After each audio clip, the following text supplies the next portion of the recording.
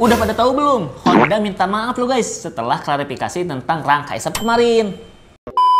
Eits, tapi ini bohongan guys. Karena ini adalah buatan kebun desain dan kita lagi nyoba bikin alternatif solusi dan klarifikasi untuk kasus rangka isap guys. Yuk kita lihat cara bikin posternya. Oke pertama kita bikin kotak merah karena ini untuk postingan Instagram. Nah warna merah sendiri diambil dari warna logo Honda ya.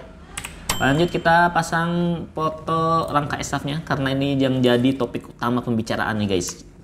Lanjut kita pasang juga ini ketikan Honda minta maaf ya sebagai topik utama dan ini mungkin yang diinginkan oleh seluruh netizen Indonesia ya.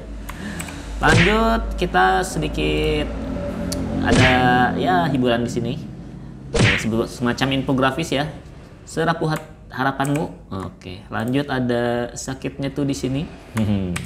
lanjut lagi ada di sini ada patah seperti hatimu. Oke, gimana? Lucu dong guys. Lanjut di sini ada solusinya berupa ganti rangka gratis dan diberi warna background kuning. Nah, agar menjadi pusat perhatian mata eh, para netizen ya. Nah, lanjut di bawahnya ke ditulis lagi keterangan eh, kunjungi data terdekat gitu untuk pengecekan dan pergantian rangka. Biar kelihatan resmi kita kasih logo Honda di sebelah kanan. Oke. Nah, lanjut ada logo HM di sebelah kiri atas ya. Nah, gimana guys menurut kalian kalau misalkan Honda kasih solusi seperti ini? Kalian setuju nggak? Komen di bawah ya.